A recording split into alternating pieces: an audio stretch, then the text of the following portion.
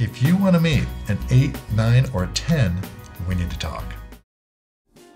For the last 15 years, my agency has been helping the most successful single gentlemen meet the top 10% of beautiful women in the nation.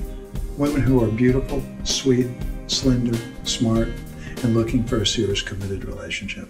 I've never been very successful meeting women at bars or nightclubs.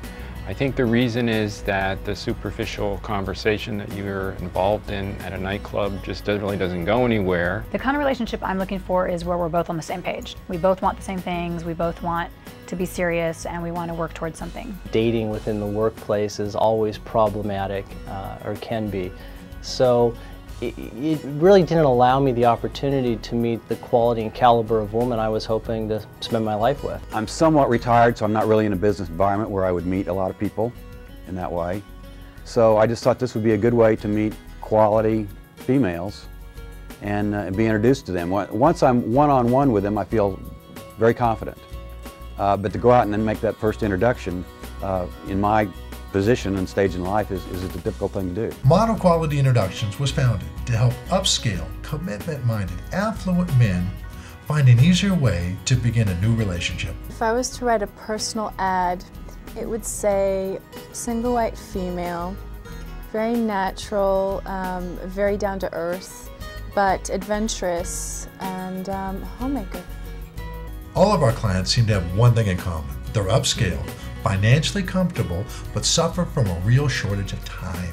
We're going to find our gals walking up to beautiful women right on the street, engaging them in conversation, finding out if they're unattached, and if they're interested in a better way to meet an extremely upscale man. I found the women to be articulate, um, intelligent, attractive, fun to be around, and there's not one date that I've been on that I had an unpleasant experience. I didn't know at that time that all the women I would meet would be so attractive. So uh, it's actually funny, after the second or third uh, date, I used to ask the women to describe themselves.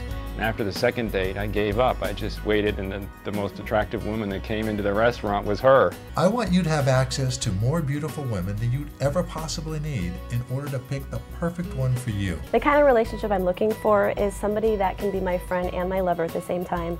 I think that building a friendship is a great foundation, and as long as I can have fun with him and he's a great guy, then I think I'm going to have a great time with him. I will show you profiles of hundreds of girls in our registry and knock your socks off staff at MQI has been fabulous in terms of screening people and fixing me up with people that I think potentially could be a good match. You have to take a step. You have to do it, otherwise nothing's going to change in your life.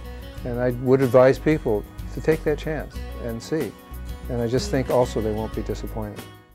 To meet a guy in a club who comes up to me with these one-liners, it's it's hard and I feel like I don't really get to know anyone and I don't give men in clubs the time of day usually. There's so many choices and there's so many beautiful women out there. So guys have so many choices and they're looking for the bigger, better deal.